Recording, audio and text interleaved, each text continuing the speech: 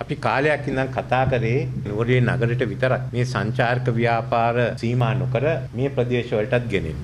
ඒ නිසා අපි සාකච්ඡා කළා බොගොන් තලාව හඳුනාගත්තා. හොඳ සංචාරක මධ්‍යස්ථානයක් කරගන්න ගෝල්ෆ් පිට්ටනියක් එක්ක විශේෂයෙන්ම විදේශ සංචාරකීන් මෙහාට ගේන්න. ඒ එක්කම නල්ලතන්ඩි නගරේ, මස්කෙලිය නගරේ, නෝටන් බිජ් නගරේ දියුණු කරන්න එන ශ්‍රී ලාංකික සංචාරකීන් සඳහා. ඉතින් නල්ලතන්ඩි ගැන අවධානය යොමු වෙලා තියෙනවා. මොකද මෙතන දියුණුවක් ඇති කරන්න උවමනයි. එක අතකින් මේ ස්ථානයේ පූජනීය ස්ථානයක්. අනික් අතින් සංචාරයක් වෙන වාණිජ ස්ථානයක්. අපි ඉස්සෙල්ලා සාකච්ඡා කරේ මේක නාගරික සංවර්ධන අධිකාරියට බාර දෙන්න. මේක එක කොටසක් පූජනීය නගරේ බවට පත් කරන. පූජ්‍ය නගරේ උවමනයි. අනික් අතට මෙතන ඉන්න කීප දෙනෙක් මෙහෙ ඉන්නේ. ඒ නිසා ඒක නව නගරයේ හැටියට සංවර්ධනය කරන්න. ඉතින් මේ දෙකටම දැන් සැලසුම් හදාගෙන තියෙන්නේ මේ නගරයේ පහසුකම් ලබලා දෙමු. ඉතින් එතන තියෙන එකක් ඉඩම් වල අයිතිය. ඒක විශාල ප්‍රශ්නයක්. ඒ නිසා අදාළ දෙපාර්තමේන්තුව ඇමතිවරුත් අපි කැඳවලා මේ නියෝජිතයන් උත් කැඳවලා මේ වැඩ කටයුතු කරගෙන යනවා.